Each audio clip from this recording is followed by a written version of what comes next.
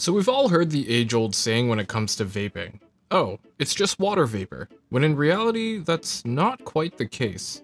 Until now. Hey, how's it going everyone? Dave here from Dash Vapes and welcome back to yet another video. Today we're going to be talking about quite a unique yet exciting step for the vaping industry. So as you can probably tell from the title of this video, um, Innokin, who's arguably one of the biggest vape manufacturers out there, are looking to release a lineup of new vapes that utilize water. No, not just water. Um, they're calling it water-based e-liquids. This new lineup is called Loda or Loda. Uh, so this is going to be kind of like a sub-brand to Innokin, and they're partnering up with a company called Aquios Labs. Now, Aquios Labs is a brand new lab that specializes in, I guess, water-based e-liquids. Now these e-liquids aren't like 100% water, um, it's only 30% water and they're calling it AQ30. Now I already know what you're thinking, um, how is this going to compare to the e-liquid that we know and love today? Well, according to Aquios Labs, water-based vaping offers a smoother and more efficient vape compared to traditional systems. You also don't need as much heat to vaporize water-based liquids, which means maybe better battery life and greater chemical stability.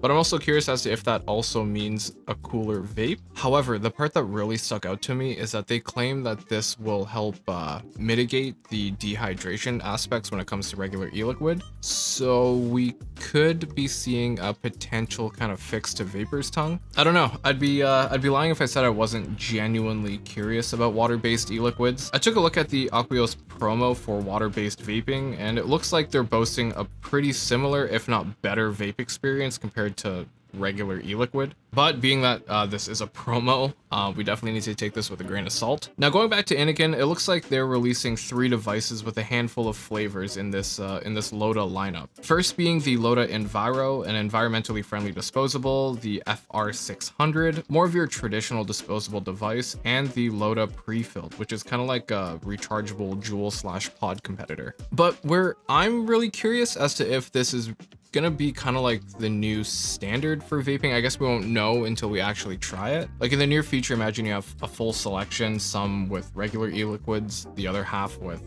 water-based e-liquid and it becomes like that big of a thing. Again, um, I definitely have to try it. Uh, so uh, Innokin, uh, if you are watching this and you wanted to send a few over to your, uh, your pal Dave here, uh, that'd be greatly appreciated.